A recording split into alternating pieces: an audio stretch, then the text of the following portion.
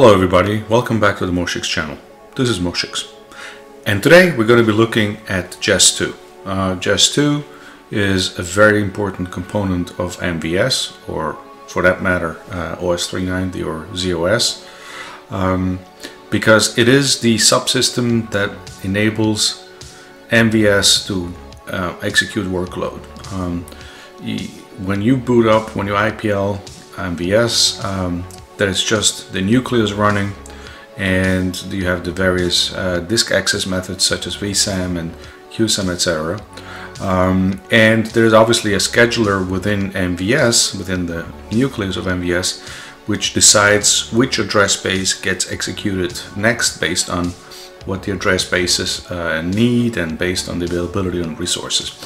However um, the uh, system uh, at that stage is not yet able to run um, jobs to run workload because it, it lacks a, a means to introduce work to uh, MVS and and uh, another way it lacks a means to introduce uh, to entry um, jobs into the system. A job as we know is an address space that's made out of that's described by JCL. Uh, JCL will describe um, which program needs to be executed and which resources it needs and which constraints are going to be put on this particular job. Um, and uh, once you have the definition all these three things and you start the job, it becomes an address space and it's now being executed by the MVS uh, uh, nucleus. Um, however, uh, the job of uh, scanning the JCL, making sure there's no errors, making sure that the uh, resources are available, such as data sets, tapes, etc., um, as well as scheduling those jobs and giving them priority system that the programmer or the operators can decide on, um, that's what the job entry subsystem does. The other thing that the job entry subsystem does, obviously, is a handle spool, which means handling data that goes into the job as well as handling the data that comes out of a job. Um, in MVS 3.8 we run JES2. There's also JES3 available. I have a separate video about this, uh, which I will link to um, in the description below this video. Um, JES2 and JES3 are related cousins. JES2 um, is uh, was for many years the uh, job entry system for medium, small, medium, and and the, and the smaller large uh, installations. Uh, it could be clustered in what's called a multi-access pool. And JES3 uh, was a clustering uh, job entry subsystem and still around obviously for very large installations where you could cluster up to 16 mainframes and have um, an active passive or have an active active uh, configuration for high availability. Um, in MVS uh, 3.8 in TK4 we only have JES2. JES3 was made available for the first time last year. I made this video about it um, and I think in the future TK4 will also have the choice of uh, JES3 but today we're only going to be looking at JES2. So um, first things first, what does JES2 mean? Job entry subsystem, uh, number two, and its predecessor was something called HASP, um, right here, which stood for Houston Automatic Spool Program. Um, and why is it called Houston Automatic Spool? Why was it called Houston Automatic Spool Program? Well, that's because a couple of IBM contractors in Houston working at NASA during the Apollo 11 program in the 60s uh, were tired of having jobs being uh, the speed of jobs being controlled by the speed of the printers. Uh, because if you think about it, if you're printing something on the printer, the printer is going to be millions of times slower than the CPU, and so the, the, the program printing something on the printer would have to wait until each line is printed to be able to send more stuff to the printer. Um, and so they had the genius idea of writing a system that would allow the program to think it's printing to the printer, but it's really printing to disk, which is of course thousands of times faster than a printer. And then once it's printed on disk uh, spooled on disk as it's called it, it can then go to the printer at the uh, at the speed of the printer and the program has already been uh, terminated a long time ago. Um, so that became HASP uh, was a free program distributed at uh, IBM share events. Um, and later on IBM took it on and enhanced it and um, and took ownership of it and started selling it, and it became uh, JES 2. Um, to this day, HASP or JES 2 error messages are called HASP. We'll see this in a second. Uh, and in fact, it's the only four-letter uh, system message in in the IBM mainframe world. All other only um, system messages are, are four uh, three letters, whereas HASP are retained to four letters. So um, you can control. Obviously, soon after um, MVS starts, you will have the JES2 address space, which looks just like a normal address space, but is defined as a, as a subsystem. Subsystems have a special character to pass messages to them. Uh, in this case, it's going to be the dollar sign here. Um, and so anytime I type a command like this, the uh, display active address spaces, that this would be a reply now coming in from the MVS nucleus.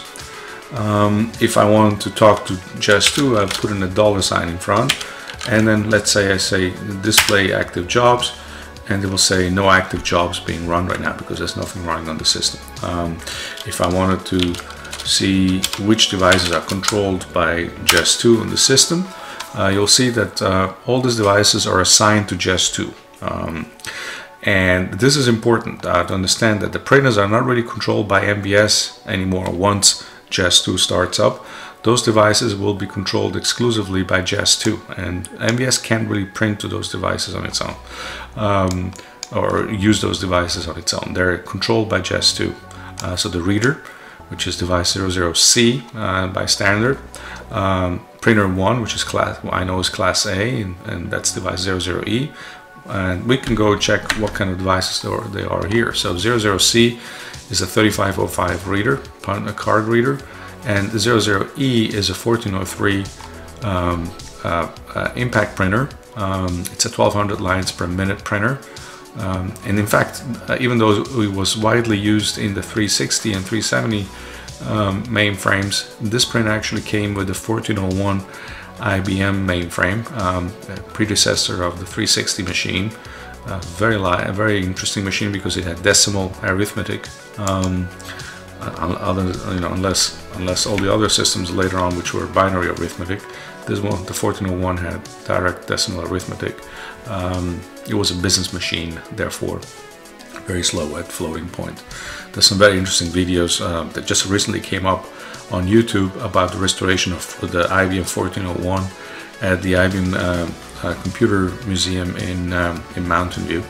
Um, I just looked at a video about that yesterday.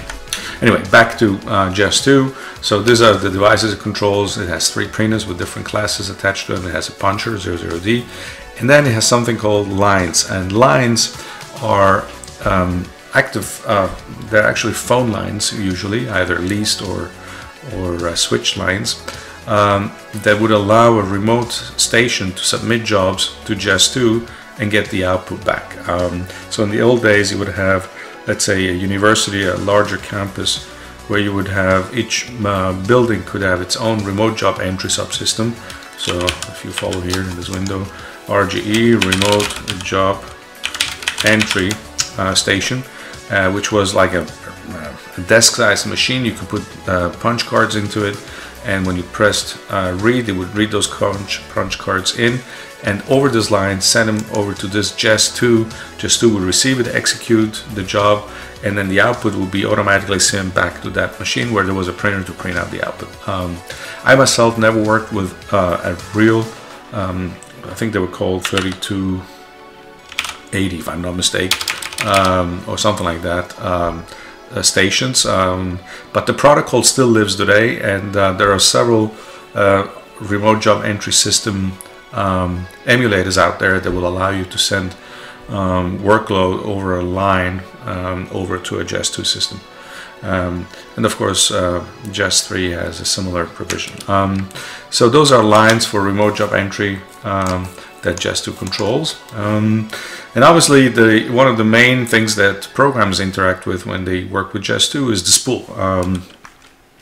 so the way we usually look at the spool is either um, we go to 3.8 here um, and then we can see there's a oops. Um, what happened here? No output available. Well let's create an output. Um, let's go here, jcl lib, and then let's go here, take this job and run it. Obviously, um, in the output viewer, it will only show output that belongs to us. That's why it's important to call the job something called like like as my own user, Herc01 in this case. And then I know that uh, if I put an H, that's going to be held output, which means it will be held in the spool, in the JES 2 spool. So let's run this program. I'm, I'm, I'm aware that I'm not really telling you anything new here, just I'm being uh, coherent in what I'm telling you. So let's go to this output viewer and here we have our output. What?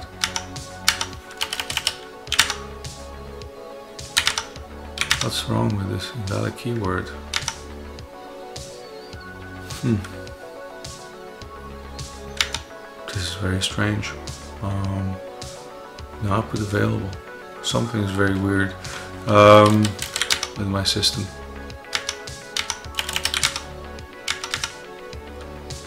Uh, and I also didn't see the job run here. So I have some doubts.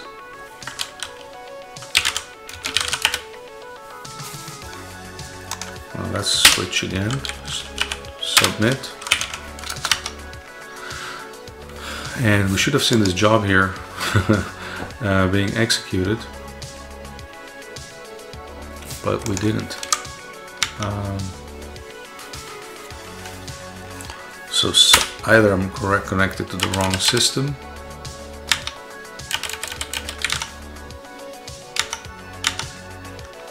Um, let's go here to this um, output viewer. Uh, 4 number 4 uh, spool browser. Major disasters occurred in in their processing okay so there is something wrong with the system we probably have to shut it down so um, always interesting. Um,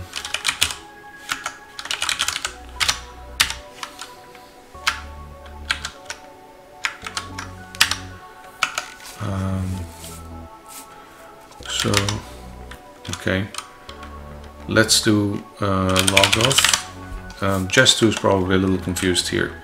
Um, by the way, we can see how full the spool is by doing uh, uh, dollar D print and it says 6% spool utilization but something is very wrong with our spool. Um, okay good. So that shows us what that sometimes this is the first time I had this problem in, in probably two or three years.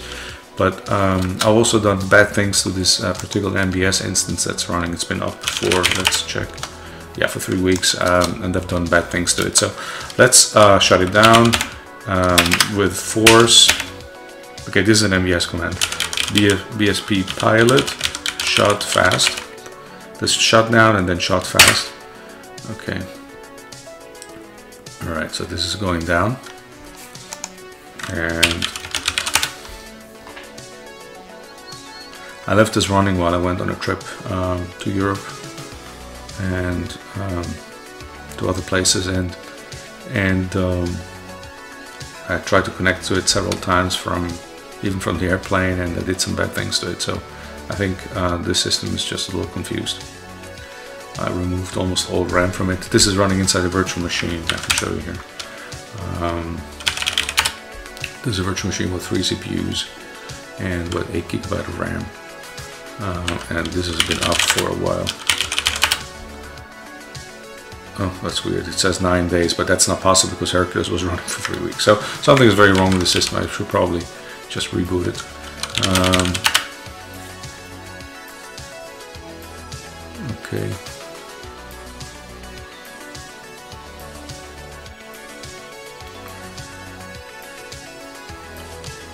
Let's help it a little bit.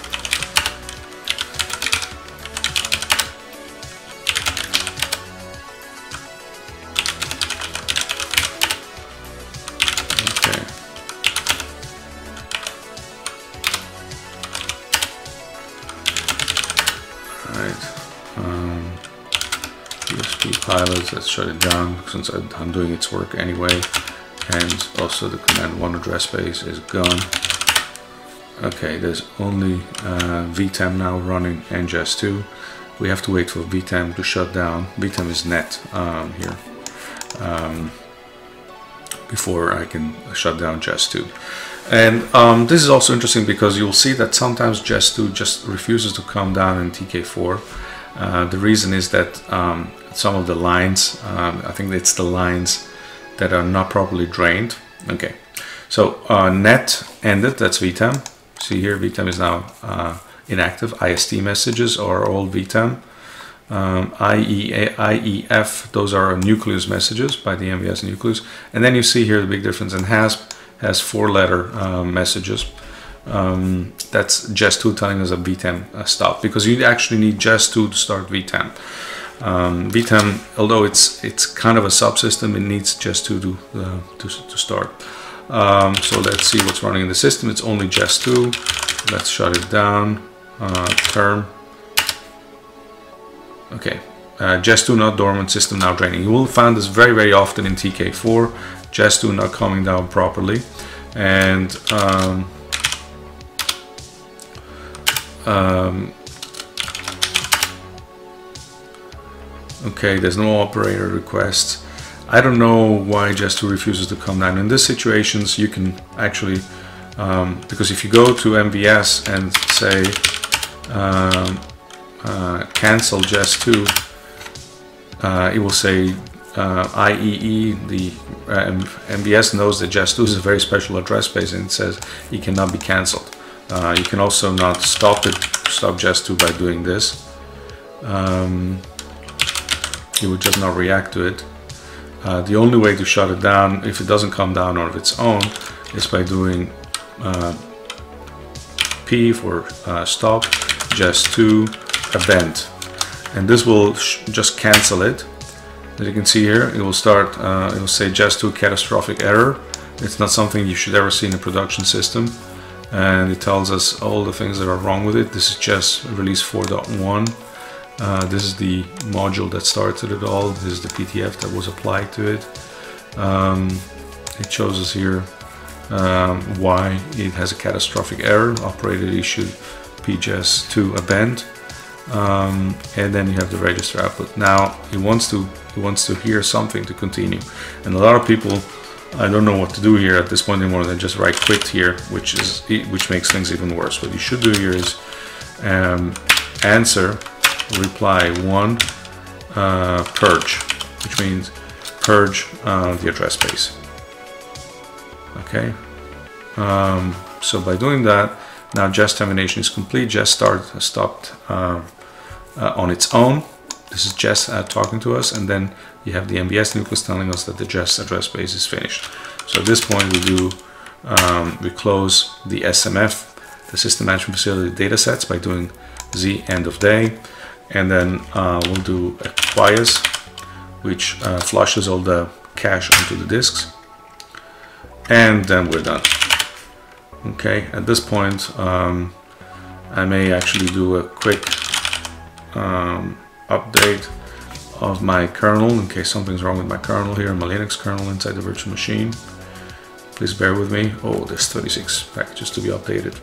Yeah, I'm not to do that. I'm just to reboot.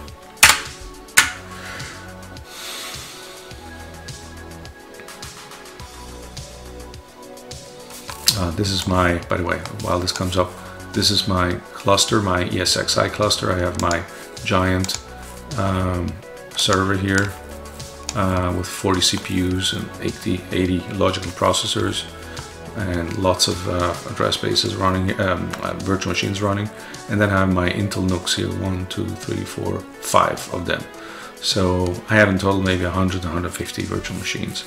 Uh, and this is running on this NUC, which is um, two CPUs at 3.5 gigahertz. So it's very fast with I think 32 gigabytes of RAM, which gives a four logical processor. Although this particular um, virtual machine has three CPUs and 8 gigabyte of RAM.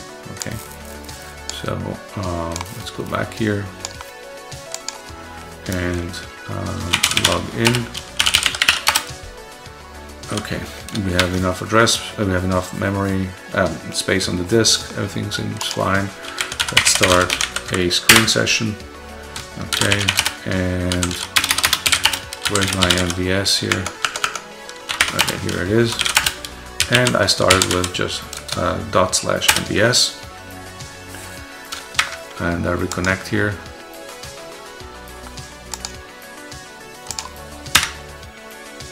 Oh, this was not the same system. That's very funny. I don't know where I'm connected here. Uh, so I was right, uh, this wasn't the same system. What is this? Oh, this is 141, okay. Um, let's connect to 141.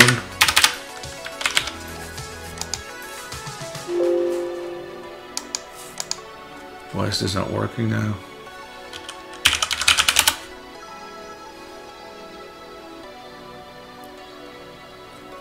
Hmm. Oh, 3270. Okay. So this should be up any second now. Sorry folks about all this commotion. Okay, but we had the problem with JES 2 anyway. So there's another system somewhere running um, address space, uh, running uh, IP52 that has uh, that has a TK4 running that has a problem with JES 2 um, but I'll fix it later. Um, okay, so let's log in.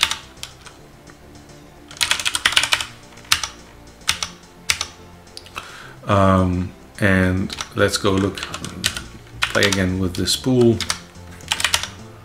Um, and we had here something uh, and obviously since this is a different machine we have to redo everything here. Sorry about this. And we put H. And now when I execute this obviously we'll see this job here running. Uh, okay job 722 uh, by the way did you notice that uh, JES2 came back up again even though we ended it uh, somewhat ungracefully? Um, so this um, I found that this way um, doesn't really corrupt um, the JES2 uh, system and it, um, it, it, it, always recovers gracefully. So that's one way to end JES2 if it doesn't want to go down. And here 303, 303 primes up to 2000 found. So let's go look at the uh, spool. And so this is now the spool, right? This is a JES2 spool. And okay, and we're looking at uh, the output here. Now this is on this output is exists on the JES2 spool. The JES2 spool is a vsam space where uh, uh, JES2 writes uh, output. Uh, it's not human readable. You need an you need to interface to uh, vsam to be able to extract the output. It's not just a, a sequential data set or anything like that. Um, and the other way we can look at the output, to go back to what we were doing before we had this whole shutdown thing, is uh, go to this one, spool browser, number four, and um, help, if you write help here, will tell you the commands. Display all jobs in output class. Um, so uh, we can do DOH. Uh, okay, DO. Oh. Uh, oh, held output. Yeah, uh, this is our job here. The one we looked at before, okay? Uh, I can put here uh, a D and then we'll show us all the various um, parts of the output. Somewhat similar to SDSF, um, uh, the IBM SDSF utility, which I think is much more um, evolved than this, but it's it is does its job. We see the output here. This is the output from the job itself. We have the assembler um, output, which is the assembled uh, program. We have um, the sysin, which is the program itself, and uh, we have uh, the loader output itself. So um, this is one way to look at the output. Um, and of course, um, now we, if I want to see the spool utilization, it will say 7% because now we have a job in there, okay? And if I continue running this job, eventually the spool will be full. And when the spool is full, bad things start to happen. You cannot have JES2 run out of spool. That's a very bad thing. It will, it will bring the whole system to its knees. Um, uh, eventually, every system programmer has experienced that. One of the things about um, running MVS on a, on a in an emulated environment uh, is the following. Um, in the old days, back when I was working on a real mainframe, um, I was a programmer, and uh, and and programmers were just um, logging into TSO, um, doing ISPF work to edit jobs, submit the jobs, look at the output in the in uh, SDSF, which was the spool viewer, or print out on uh, on uh, fold paper and get you know maybe half an hour later get the output from the from the operators in the in the machine room. Uh, but you didn't really have to manage the, you, you didn't manage the machine um, now that we have uh, Hercules and, and MVS is a tiny little program for today's machines with 16 32 100 gigabyte of RAM and you know multiple terabytes of disk space uh, this instance of MVS is a tiny little program for my Windows machine that you're looking at right now and but what the, what it means is we, we can't be just normal programs anymore. We also have to be system programmers. We have to manage uh, JES2. Uh, we have to manage MVS. We have to manage the disk. We, we, we own the machine. And so uh, Hercules and, uh, and, and all other uh, emulators out there, such as SimH, force users to become also system administrators or system programmers next to being just normal users and programmers. And that's why it's important to know more about um, things that we didn't have to know before because such as JES2 and other subsystems because uh, we have to manage the machine and if we don't do it properly um, it's just not going to be running effectively and we're going to lose data and it's going to be a frustrating experience. So that's why I'm making these videos by the way.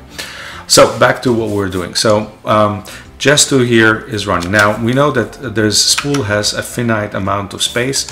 How do we see what's going on with the space? Um, well, go back in here.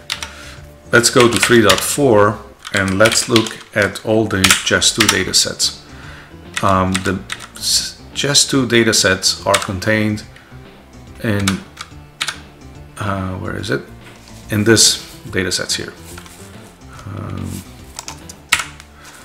okay, so this are data sets that are important to JES2. The first one is the spool space. Um, let's put in an I here to get information about this um, about this data set. sys1.ha um, space, that's a spool space. HASP again is for Houston Automatic Spool Program or JES2. Anytime you see HASP, think JES2.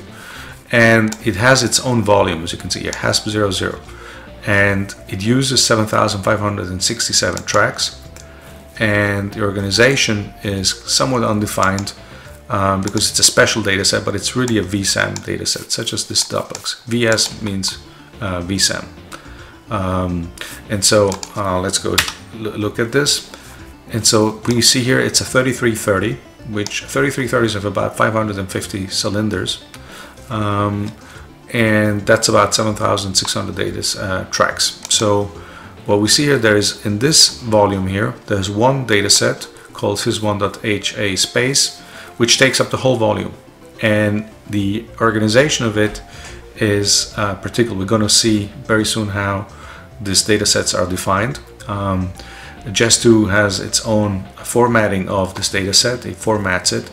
Uh, there's a mini formatting where it just changes uh, the very first record and changes to a zero. There's a normal formatting where it formats the whole space um, um, with its with the format it needs to store either input data set, uh, input jobs or output um, produced by jobs into uh, HA space. And what happens is that when you execute a job, first of all, um, JES2 receives um, receives the job. Um, it scans the JCL for syntax error. If there are no syntax error, it starts to decompose the JCLs in MVS control blocks, which it stores then on this uh, inside this space, inside this spool space, as a series of control blocks and waits for um, submitting it to MVS. Once um, it's it's ready to submit it, it could be immediately, it could be later, it could be uh, waiting for release by the operator. Um, it will be submitted to the internal reader of MVS called AA uh, reader. which is an, a reader that exists in, it's a virtual reader, that uh, virtual card reader that exists within the nucleus of MVS. It submits it there and, and MVS starts building an address space, takes the control blocks from the control blocks that JES2 built and then gives the CPU over to that address space and the job is now running. And while it's being interrupted for I.O., MVS controls the execution of the address space by priority system whenever uh, decides when the address space should uh, receive um, uh, the CPU. And while the uh, job uh, is then executing and producing output, that output is going back in here. So what it does is actually changes all the output um, uh, when you schedule the job. JES2 changes all the output to point to to itself, to JES2, and then JES2 receives that output from the job and writes it inside this address space.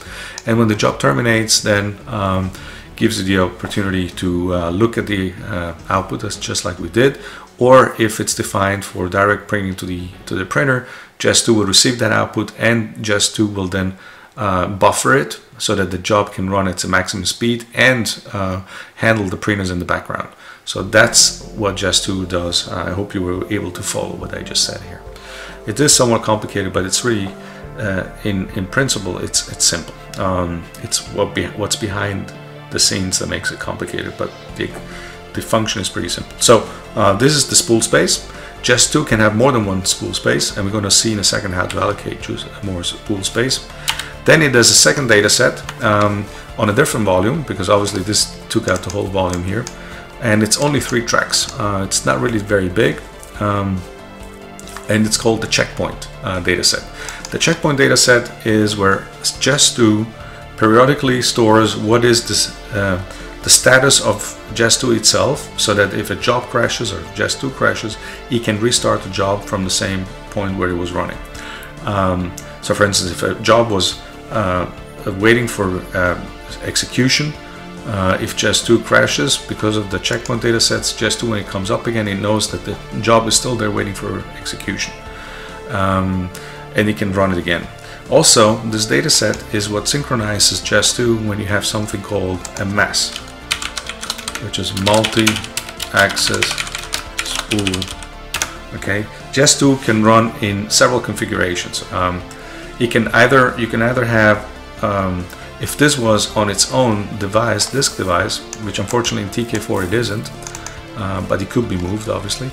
Um, you could have a, a, a DASD, a device which only has this data set and then you could share this device through the Hercules um, um, DASD sharing capability over TCP IP and then you could have two JES2, two MVS instances, two TK4s running on two computers or even inside the same computer access this data set and they could uh, see each other's jobs. And that's how they would synchronize with each other. And I've actually done this in the past. Uh, I may maybe one day uh, do, make a video how to produce a, um, a JES2 cluster with uh, uh, TK4 and MVS 3.8 that works. Later versions of MVS required a, a um, uh, what's called uh, um, a coupling facility, which is basically a, a computer that synchronizes uh, between two systems, um, and that became the prerequisite for uh, multi-access spool. Um, then you have uh, poly spool, which means um, a JES2 can have several spools. And you can also have um, the spool itself being placed on the coupling facility so that all JES2 can use the same spool program. So those are the three configurations of JES2. Um, the one that we can do um, in uh, TK4 and MVS 3.8 is the multi-access spool, uh, which means pointing to the same um, uh, the same, same two data sets. Um, but they will have to be on shared devices. Um, so um, this is a small data set, but very, very important. And in fact, uh, when when JES2 crashes, when it starts up, it will want to reacquire control of this data set. And sometimes uh, it tells you that something went wrong and you want to bypass the uh, waiting for for this data set to be cleared. And then you have to say yes um, to MVS, uh, to JES2. And then we have here the source uh, for uh, JES2 itself. This is just assembler mac macros here. Um, you can see this is all assembler. This is the, the, the source code for JES2. Um, and then the last one, which is very important, is this dataset, um, which has the JES2 parameter uh, parameters uh, that JES2 reads upon startup. So here you have Jürgen, the maintainer of TK4, put in what is in here. Uh, JES2 parameter with printers, punches, and readers drained. So uh, 00 is server class A, printers 2 is on device F is Z for standard for started tasks and for TSO output, and um, and then printer 3 is for held output, uh, job output X. And then there's a puncher on class B, so you can punch directly to cards by uh, saying uh, message class B. And there's a reader, which also is controlled by JES2. Um, and then you have um, things that uh, start to make sense now. You see this is the control character uh, is the dollar sign, which is pretty much standard all across the world, so that we can uh, get output, um, we can talk to JES2. So by putting the dollar uh, at the end, at the beginning of a message, um, MVS knows to pass it over, over to JES2, and it's defined here. Uh, the checkpoint dataset um, volume is defined here, we just saw it before. Uh, it checkpoints every 60 seconds, you can also say 30, something like this. Um, if you do a multi-access pool, you probably want to sync every four, four or five or six seconds. Um, and um, and then we have all kind of uh, uh, default settings that we set for the installation. Um, default estimated execution time is a minute. Um, default estimated print output is um, uh, 50,000 lines. Um, subsystem supply module name.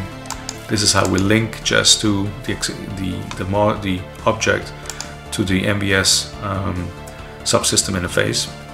Um, internal reader authorization. This is the internal reader I was talking to you about.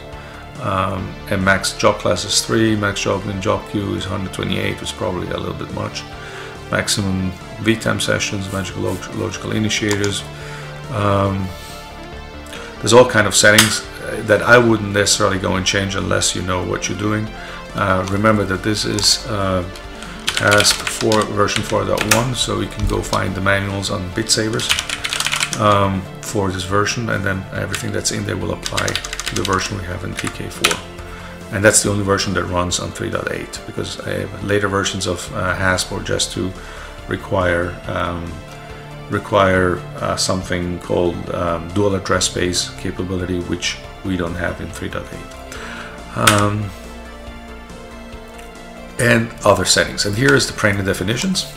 So class A with a separator page, um, no pause, unit drain when when done, and FCB is the the the, the uh, form uh, control block is six, which is a standard form, and we have three printers defined here. Um, uh, so um, all kind of settings that you don't really want to uh, muck with too much.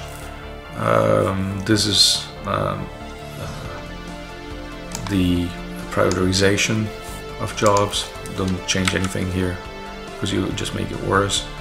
Um, here you have, you know, if the account and programmer is required.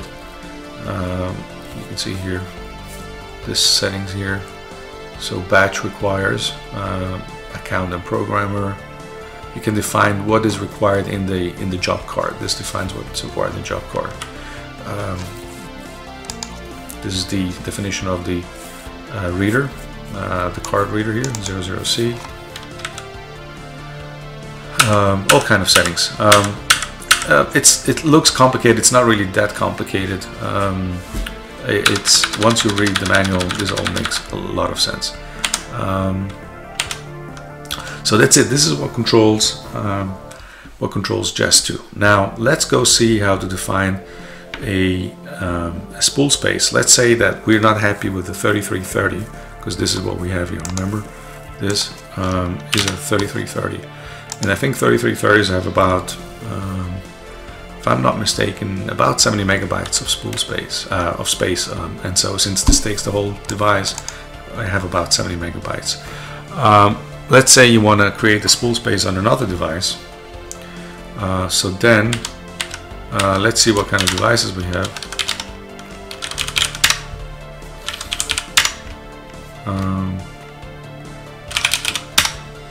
there was a program here to show list uh, li it was list vol I think um,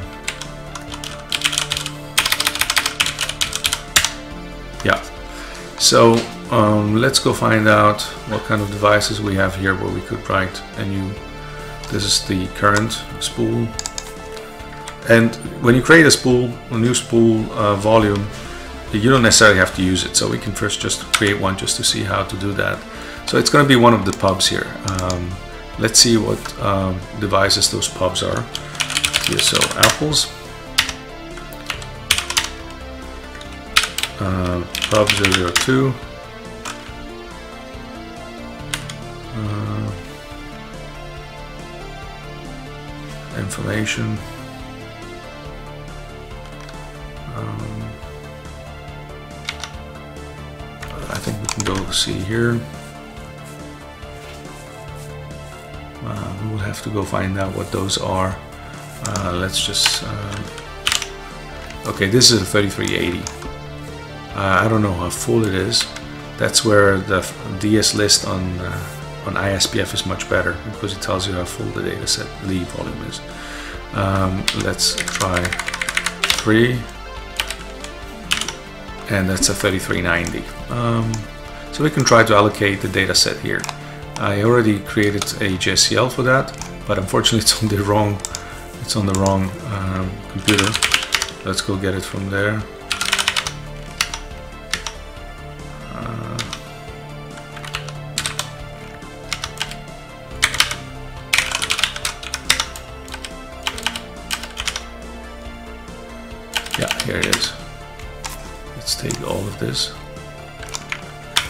copy it over.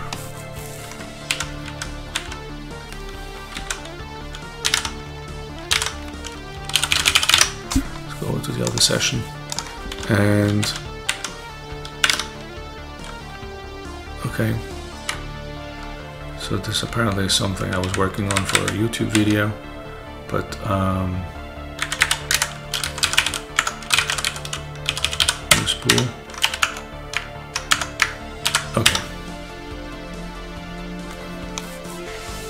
Hang on. What? Ah.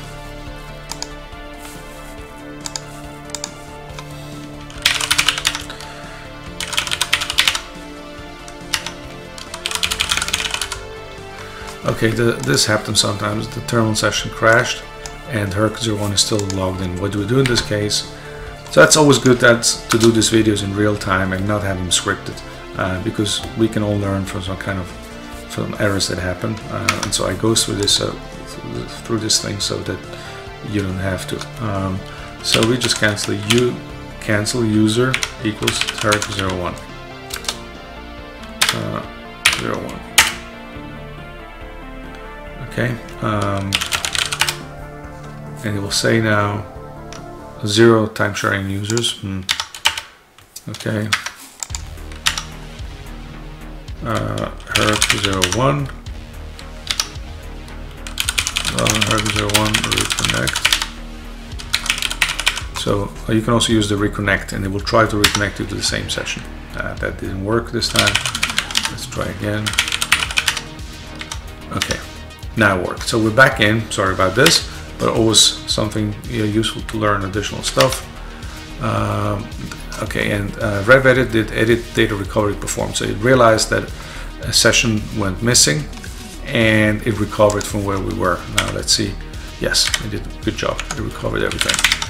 I have it in my uh, cut and paste uh, buffer on Windows anyway, but uh, good to know that it managed to recover. So this is um, the JCL to create a new spool, HERC01 um, spool format, message level 1, class A, message class H, um, format.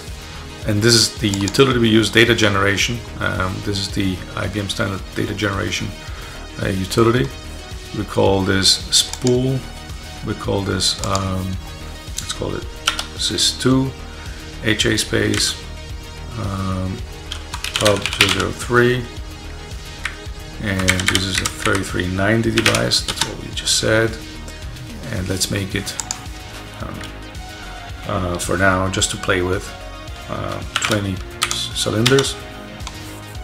And this is the block size it needs to have. This is the record format which is um, um, which means um, unblocked.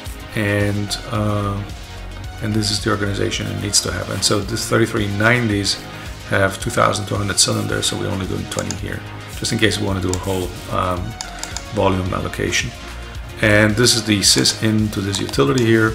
We say output is spool which is defined here. Name fill with ffs length equals to the block size. Create name spool quantity.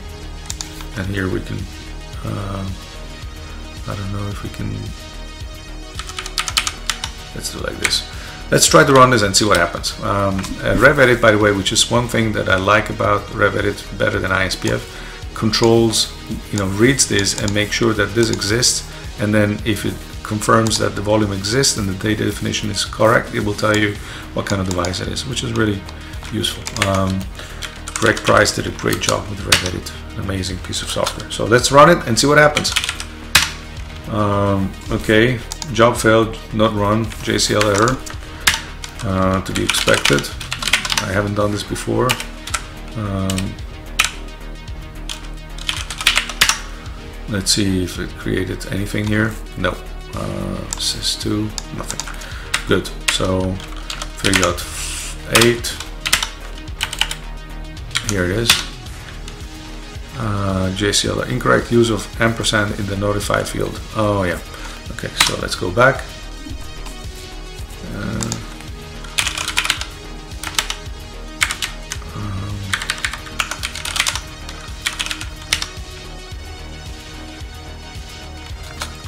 SD thirty seven. it abandoned. Uh, let's go find out what's wrong, a band system. Uh, we didn't put in a scissor band.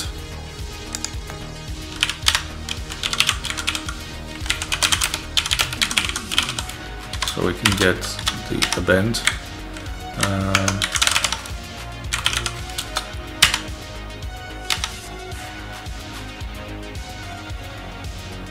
what's wrong with that? Um, let's see here. First of all, what's, what's wrong? Duplicate name on direct. Okay, so it did actually create it. It just, um, yeah, I, I suspected this was going to happen.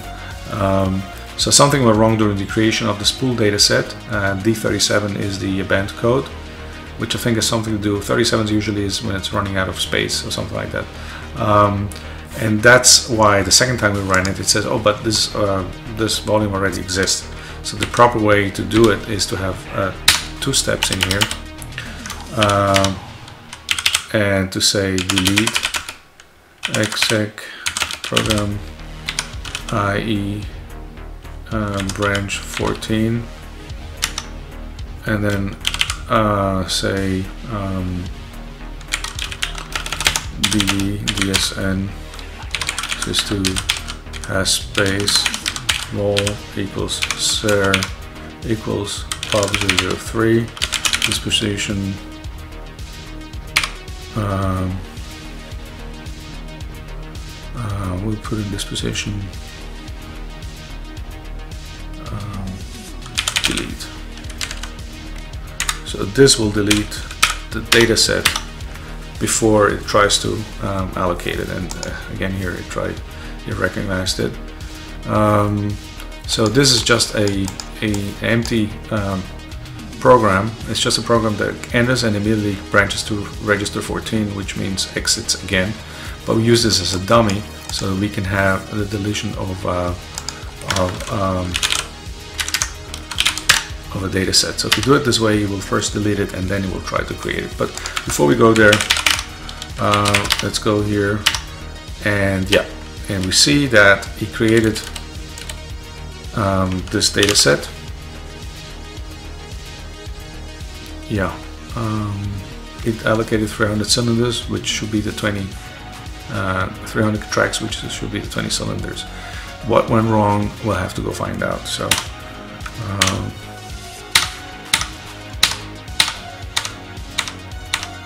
uh, let's go find out what went wrong. Which one was the job that failed? 724. So this one is the one that failed. Um, okay, spool 290. Um, what is this 290?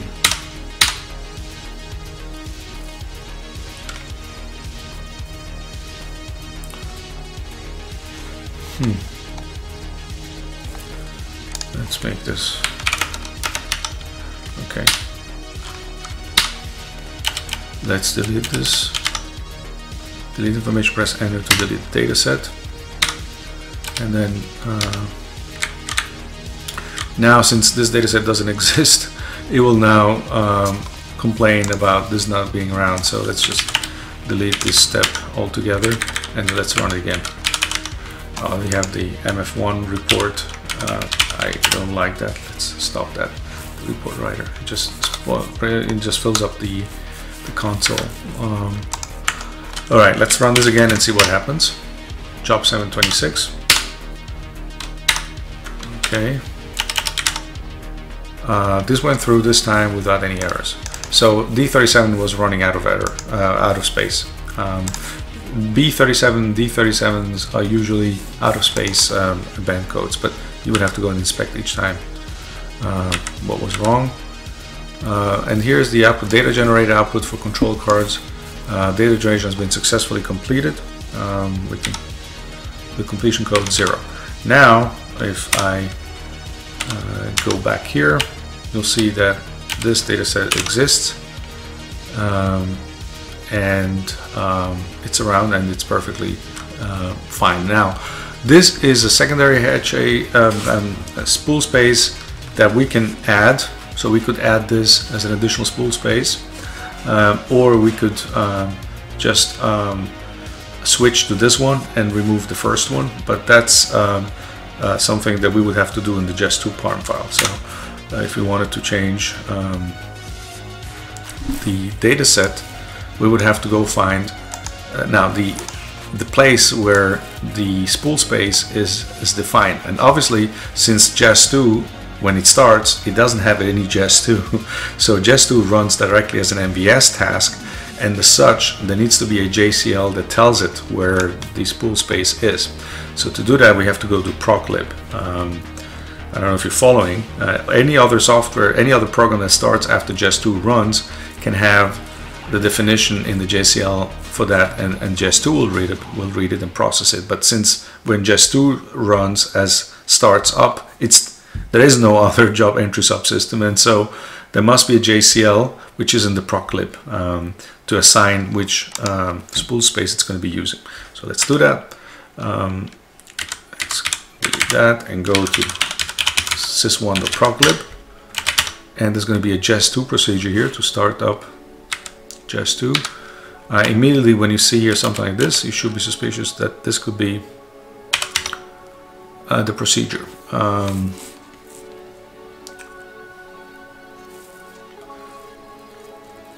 no, this is the procedure to assemble uh, JES2 itself, but it's not the procedure to start it.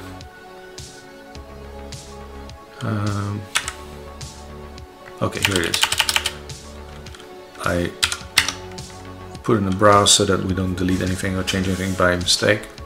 Um, so this is the procedure that starts JES2 um, and it will, it will define certain things. Uh, JES2 parm is the parameter file and this is the program hasp JES2. This is the program that starts it all and you will see that somewhere down here um,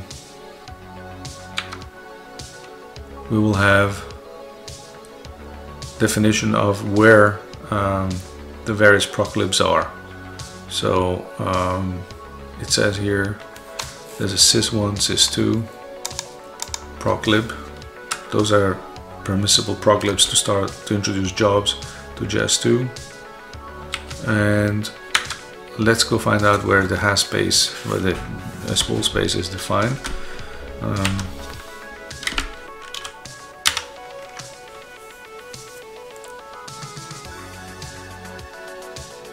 okay. Um,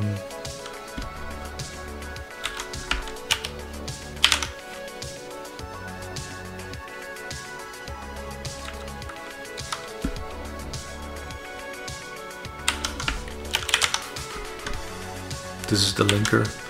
Um, okay, so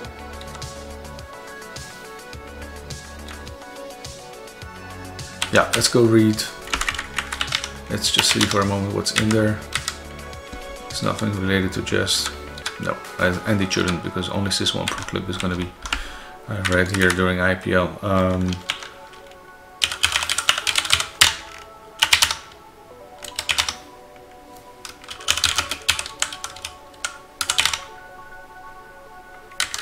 Okay, here is where we define where the spool volume is. What happens is when JES2 starts, it reads here the volumes um, and you can have more than one volume here. And then in each volume it goes and tries to find a data set with uh, the formatting of JES2 and um, and so here it says it's HASP00 if we change here and put in a different volume um, and put in and have a, uh, uh, JES2 space defined just like we did with the JCL before in that volume it will find it there and it will execute it. Um, this is the link. So we could um, we could change it here and next time we IPL it will go find uh, the spool program in the next volume. I'm not going to do it here because I have uh, I know you know you need to be obviously very very careful here. And one good thing to do here by the way is to create an, uh, a copy of that so that because when you start JES2 and it doesn't come up because there's an error in JES2 parm, you could have the previous known good JES2 parm file um, uh, stored somewhere else and when you start JES2 and it says okay I cannot start because JES2 parm is wrong you can say you can go in here to MVS and say uh, start JES2 and then parm file uh, parm I think and then you give it um, where to find the the parm um, the parameter file uh, dataset to go to read that. And this way you'll be able to start uh, uh, JES2 and bring the machine up so you can log in and go fix the error. That would be one way to do it. Okay, so uh, we have been going on here for a while. Um, there's so much more to say about JES2. I think, you know, uh, for the reason I mentioned before is that we all have become system programmers with, with Hercules. It is very important that each one of us um, uh, we'll spend some time reading the JES2 um, uh, uh, document, um, which is stored on BitSavers. So Beat Sabers, JES2. Let's see what it comes out with. Okay, first of all, you have yeah, you have the JES2 commands, uh, which is something very advisable. Okay. There's a very uh, extensive uh, command language here. $T is the ones to dynamically modify parameters that were set in JES2 parm. Um, I mean, there's so you can reassign output classes. Uh, for instance, you can try it here. I could say uh, .t printer one q equals, um, let's say, k. Okay, so by doing that, uh, now we have dynamically modified um, the uh, printer class, so now the q is k. So I would have to print to k now to go to the printer uh, on unit 00E, the 1403 printer. And we can check that. Um, we can do, we can run uh, program.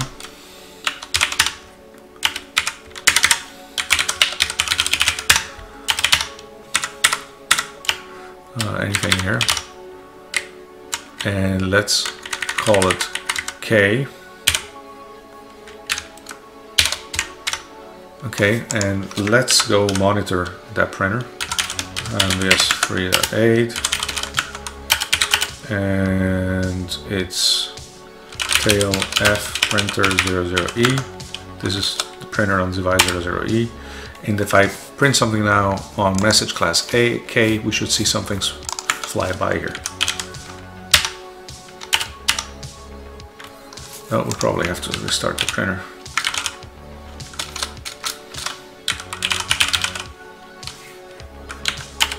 Oops. Start printer one. Ah, dollar start. You can also put in a space here. That makes it easier for you to read. Okay. Um, where was it? Here. You should uh, see output fly by here. Why is that not working?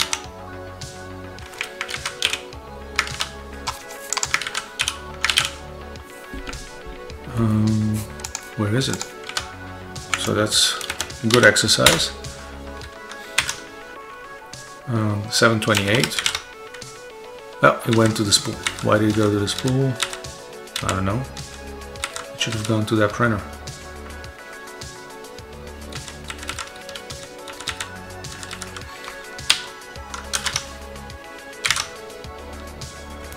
Message class K.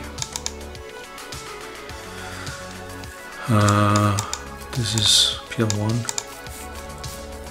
That's very interesting. Why did it not go there? Okay, let's T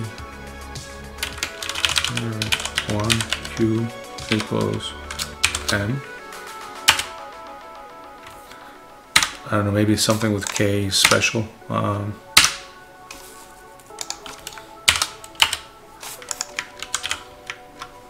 so let's see if anything comes out here.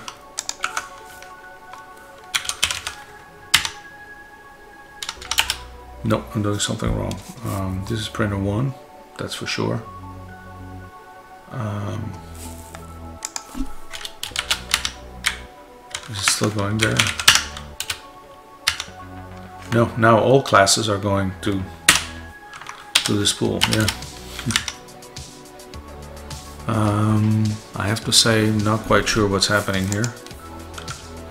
I'll have to find out.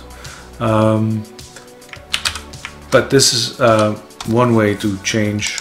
I mean, it, it should work. Um, it's something I'm missing here. I've, I've had this uh, in the past.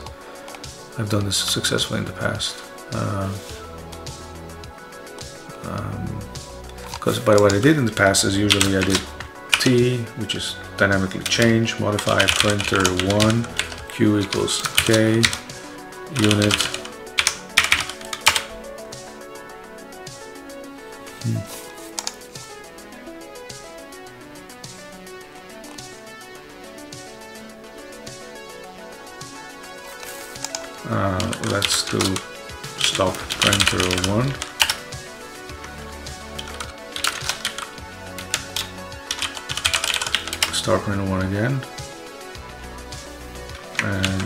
see anything here nope still no output is already allocated. Uh, let's try again to run some output.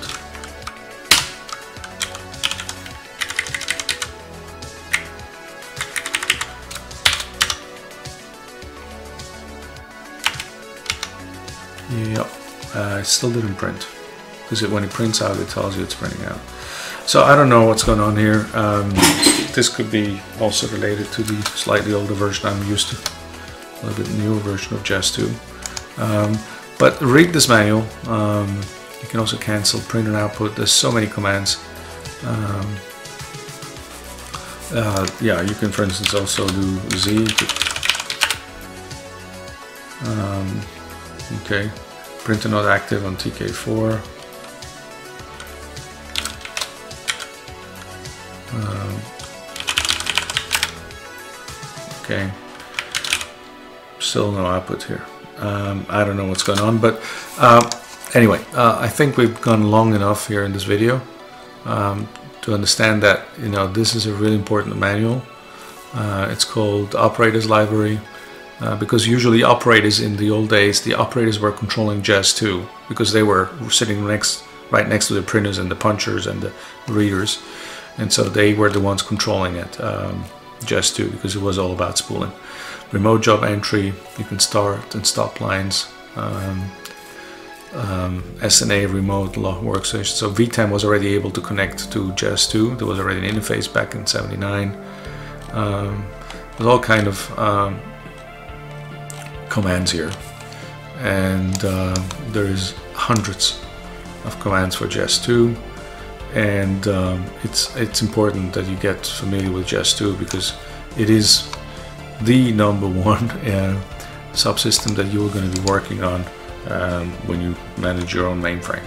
Um, and as I said, maybe I'll make um, a video um, in the future about multi-access spool JES2 so we can have two JES2 systems use the same spool so they can see each other. And it's interesting because you will be able to see uh, the other systems uh, jobs running and executing. It's a, it's a, it's a way of clustering two MVS systems. Uh, very interesting. Uh, the easiest way to do it, by the way, would be under uh, VM um, you can have two VMs one VM 370 running and then underneath two MVS 3.8s and you can start and stop them and do all kind of interesting things. Um, or we can just uh, have shared uh, DASD with the Hercules shared DASD option.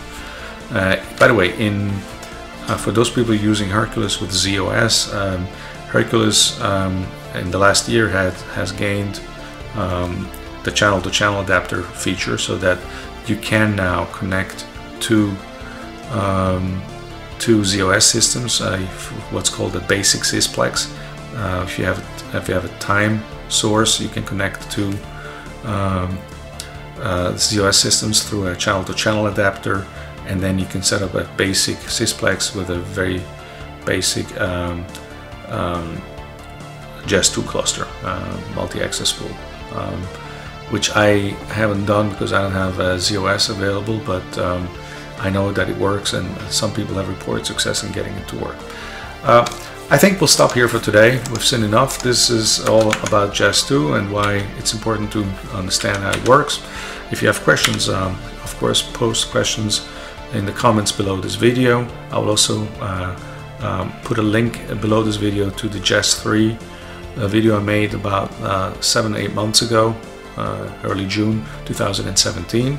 Uh, thank you again for watching. Thank you for all the thumbs up um, uh, buttons you uh, uh, you give me. Those are always appreciated. Please consider subscribing to the Moshix channel to get notifications of future videos I'll be making. I'll have a whole bunch of them in the pipeline. Um, and thank you very much and uh, see you soon again on the Moshix Mainframe channel. Goodbye.